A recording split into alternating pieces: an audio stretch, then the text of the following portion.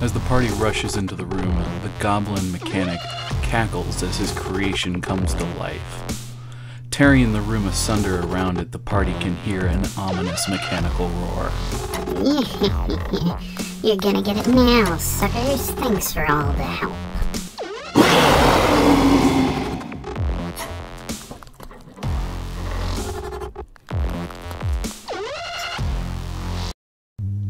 All jokes aside, guys, this one's been in the background of a few shots before. Perhaps you've seen it just sitting around. Finally got a chance to paint it up. It seems someone saw it in the background of one of my live streams and just had to have it. So this was a fun commission to work on, and I look forward to more fun projects like this in the future.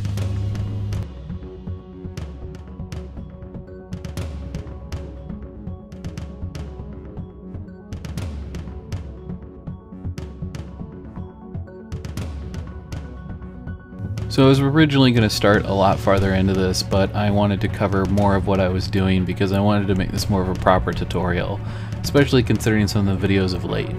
So I did a Zenithal highlight and then I hit it with lead belcher spray paint, and then I hit it with a few of the other silver colors by Citadel to kind of add some highlights, but that kind of ends up getting lost. Runefang Steel was one of the best ones that I used, but again, this ended up getting lost by the time everything was all said and done, and I used Runefang Steel as a bit of a dry brush in the end anyway. One of the big things that we ended up doing here is I ended up using a mix of washes, Agrax Earthshade, Seraphim Sepia, and a little bit of Nuln Oil. I even put a splash of Fuegan Orange in there just to add a bit of color and variation to the metals. In my opinion, this dragon is probably patchwork together from a very serious series of, well, stolen bits and parts. This dragon was probably not built with the consent of any major authority in whatever town it started in. Here you can see this was after my first initial wash, first hit of the airbrush with Seraphim Sepia. I start laying in some Agrax Earthshade, and then we skip forward to when I've kind of laid back all, all of the silver dry brushing. So something to keep in mind when you start your dry brushing phase with something like this, especially if, like me, you want to still have that pot metal look where you can see all these imperfections in the surface of the metal and in other places you can see a lot of dirt and grime in the crevices is dry brushing. Dry brushing is going to be your friend with something like this. If you do all traditional edge highlighting and you just do it all with a brush, you're going to have a bad time because of all the little nicks and nooks you're going to have to try to avoid versus all of the raised surfaces you're going to have to just pick at with a brush. It's not worth it. Just go ahead and dry brush this whole stage. It'll save you a ton of time and if you have to fix something later then you can come in and fix it with a brush.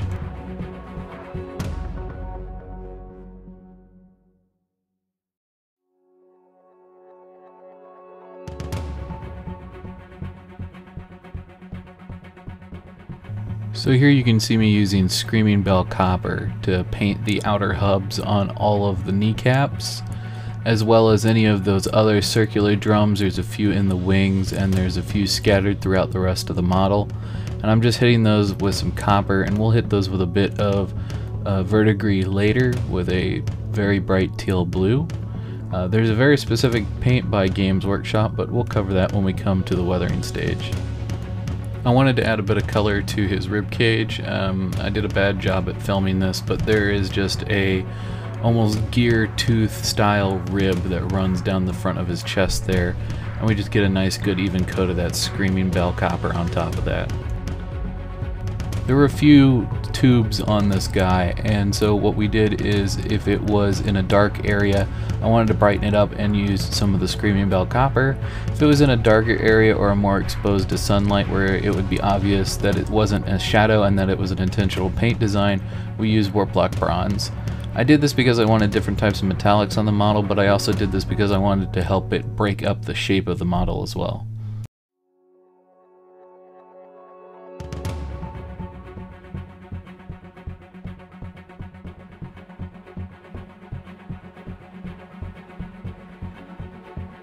We end up painting that mask that is his face in copper, although when we do the purple effect later on, it kind of gets lost. I wanted there to be some aged copper somewhere on here as though some copper that was being used was quite old. And I found the best way to do this was to actually take some Vallejo thinner, to the Screaming Bell copper that we were using and then apply it in very thin washes. And we only ended up needing one wash for this particular model. I apologize for getting most of this off screen, but I wanted to explain what I was doing because you'll be able to see much later on in the video just how good of a dark dingy copper we were able to get and it ends up taking the verdigris weathering treatment really really well.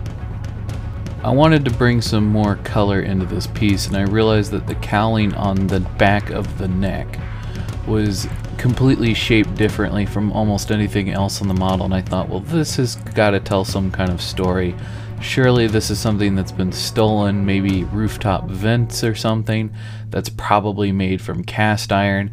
And what I ended up doing is I hit it with about four washes of Nuln Oil to knock it down and make it look like pot metal or a very dark, almost cast irony metal.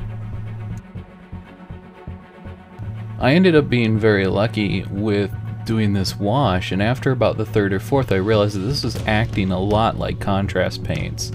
Only difference here is because it was more of a wash, it really, really seeped down into the recesses and stayed off the highlights really well. And I ended up deciding to not have to do any real edge highlighting, except for late in the weathering stage, where I added just a tiny bit of highlights back in. But I honestly think you could have skipped that. So looking back, I should have recorded this stage and done some kind of high-speed playback but you guys have seen me edge highlight before and that's really all I was doing here with the gold. I just went in and picked out everything that looked like a separate piece of metal on a body panel. So example, the area that's kind of in the saddle region, you can see that gold stripe around that metal panel. I went in and found all the little trim bits and hit it with gold as well. And honestly guys, did you really want to watch me highlight that neck for 20 minutes doing all of the gold on both sides?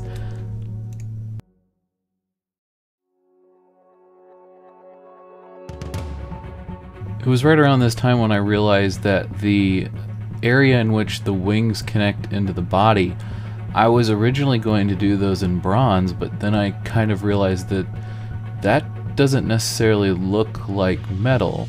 And that's when I realized that honestly this area of the model was probably intended to be a hard leather, a flexible surface so that when the wings are moving, they can actually move around enough to propel the dragon through the air.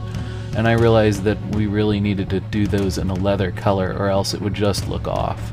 Now it was time to tackle the wings. I realized that the dragon really wasn't quite where I wanted it to be, and I always envisioned that the wings would be this patchwork of just stolen fabrics.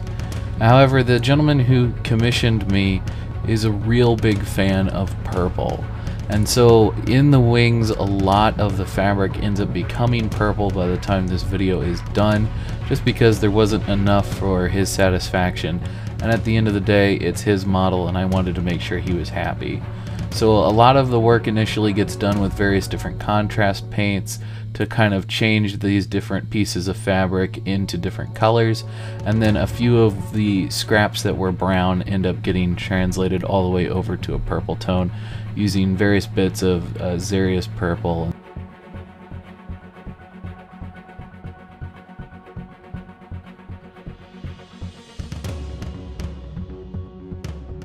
I went ahead and I painted up the base mostly using, uh, I believe it's Tuskgor fur uh, contrast paints. I wanted to go ahead and knock the base out, so we went ahead and hit everything else with their main base tones, and then we won't really touch this again until it's time for weathering. So I really wanted to play off the idea that those two teardrop shapes were stolen shields from the city guard. And I basically went in and looked up heraldry on Google, of all things, and I found out what different shapes mean and why certain colors would be in certain ways. And as far as I could tell, this was the most generic setup I could get to express Royal Guard. But I also threw some purple stripes in on top of the white, or in this case a singular white stripe, indicating heraldry of a higher order, which could be nobility or above. And I threw on the purple because again the customer loves purple. I threw in the blue because blue is a very regal color and then I threw in red because that would be the fighting guard according to what information I could find. So in, uh, in other words, this would have been owned by the guard that would go and escort someone of high stature in and out of the city or would be walking around patrolling just outside of the castle keep. Please also keep in mind that I am not an expert, this is just what I found on Google and this information may not be correct at all. This is just what I was using to give me an idea of what I wanted to put on those shields. I know you guys really like it when I kind of do some high speedy stuff and I know you like when I show off the airbrush even if I don't do a good job at recording it. I apologize, I am working on my setup and trying to get things better for you guys. But here I am just laying in a dark purple to get the initial shadows and shades in for this glow effect. And then I'm just real easily going in with a lighter purple and just kind of laying in some base tones in between those ribs as well as almost I would describe it as dry brushing with an airbrush and just mildly catching the surface of all of that texture on the ground and just kind of laying in some hot spots to show as though the lights are moving around inside the dragon, therefore the reflection on the ground is moving.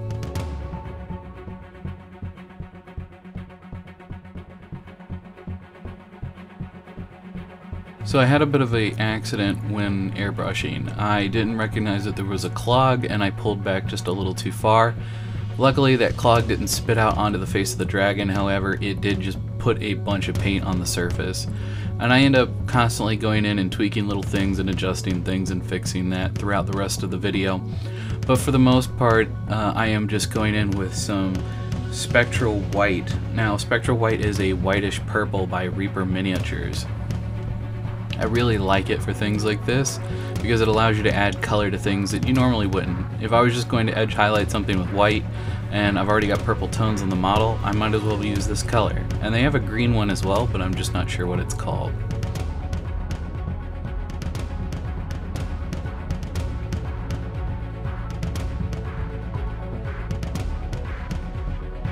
As you can see here, I'm just touching up a few spots where the glow effect kind of fades away in places I didn't quite like and touching that up so that it fades completely as it should.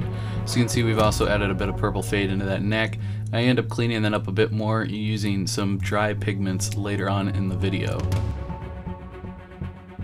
Now what you can see me doing here is basically two brush wet blending. Now the first brush is the eyedropper with rubbing alcohol in it. And the second one has the spectral white that is actually watered down. And what this is doing is the paint is basically mixing with the rubbing alcohol on the surface of the model.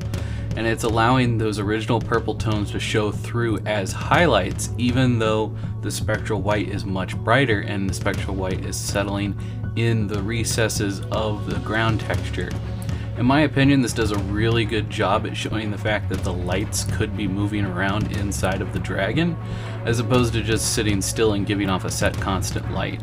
And to me, this adds a bit more of a spectral glow to everything.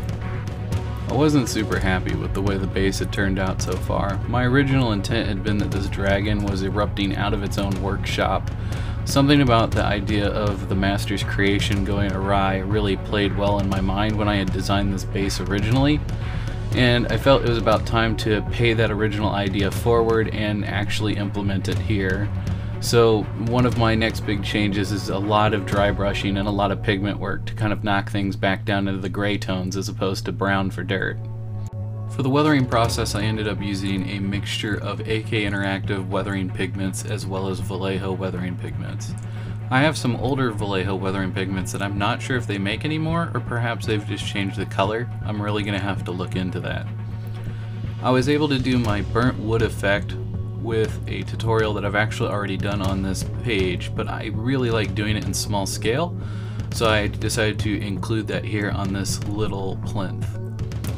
One of the reasons I wanted the miniature raised up as high as it was is I wanted someone to have a Goliath mini or something of that nature to be able to be underneath the maw of the dragon.